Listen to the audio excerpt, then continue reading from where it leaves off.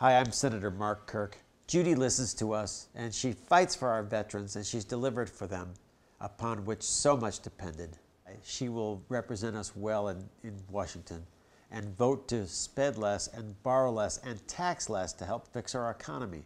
Judy Biggert is one of the ultimate suburban moms who should be representing us in the Congress next year.